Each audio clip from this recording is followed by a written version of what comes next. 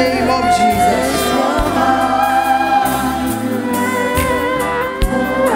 Galatians chapter 2, verse 20. While you're standing, let's do it together. You're going to be announcing and repeating what your father has said to you this morning. Galatians 2, verse 20. We do it together. Declare it like it's your present reality because it's the key for this year. Say it with, let's say, let's do it together. I have been crucified with Christ. No, no, we, we read it together. I have been crucified with Christ. It is no longer I who live, but Christ lives in me. And the life which I now live in the flesh, I live by faith in the Son of God, who loved me and gave himself for me. I'll ask us to read it again. So, those of us that were still looking, read it now like you understand you're talking about you. Say, I have been crucified with Christ.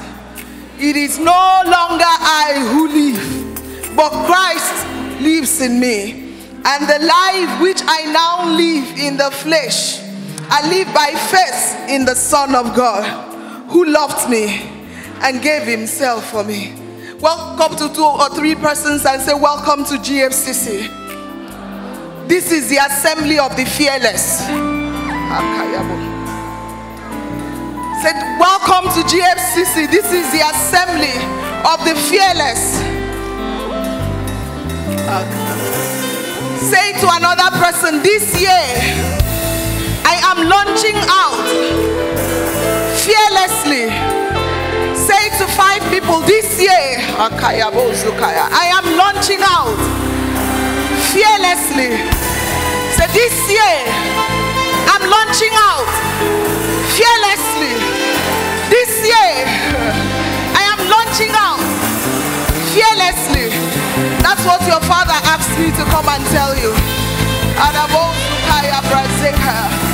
The old you is dead.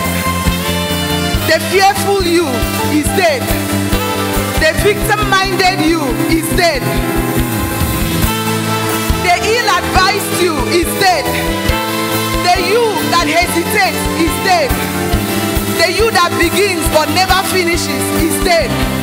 The you that doubts yourself is dead. Who now lives in your place? Christ lives in you. The defeated you is dead. The lazy, easily, easily distracted you is dead. The unserious, unfocused you is dead. The substance addicted you is dead. The gambling addicted you is dead. Your father says your old identity is gone. Your old self is dead.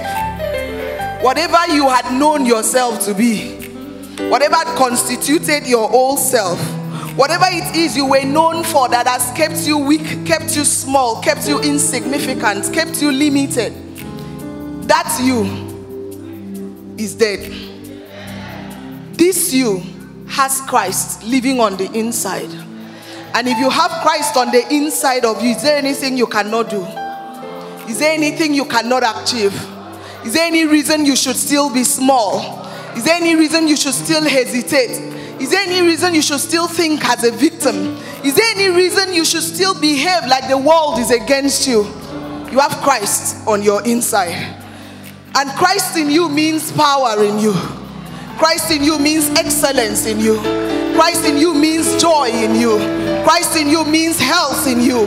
Christ in you means life in you. It means direction in you. It means wisdom in you. And just in case you're still standing here and feeling, I don't have what it takes to succeed. I don't have what it takes to jump out.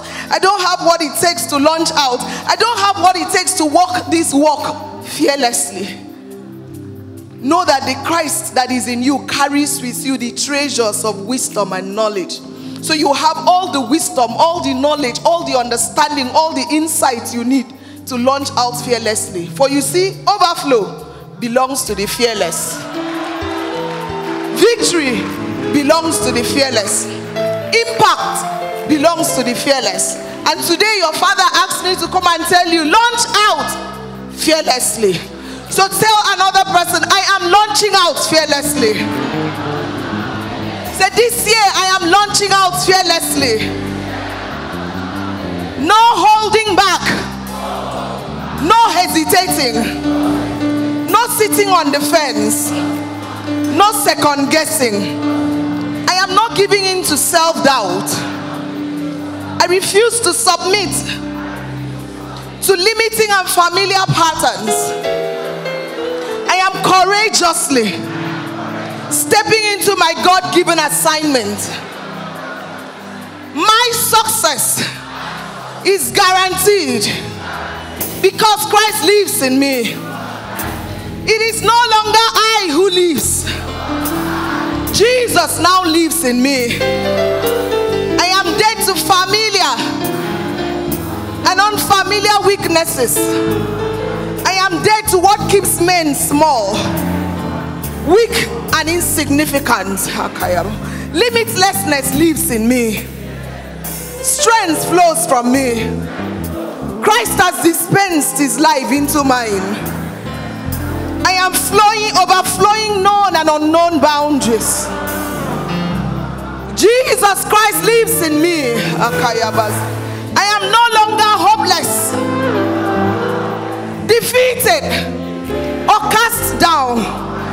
Have been infused with power to conquer every difficulty. I am no longer dependent on my strength. I lose sight of the known and I embrace the unknown. Christ lives in me.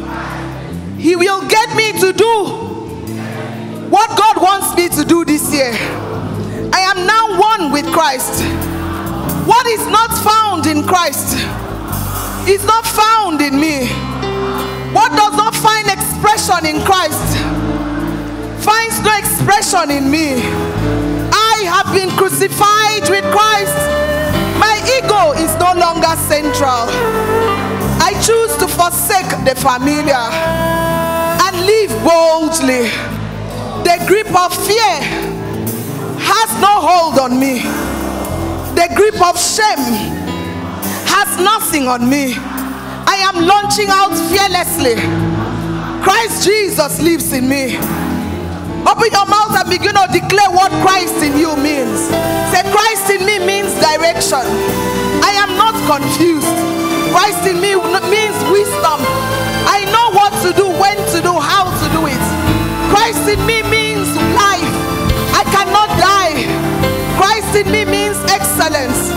Manifest the excellence of God.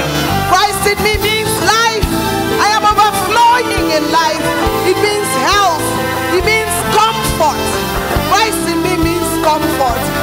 I am comforted. And I am a comfort to those around me.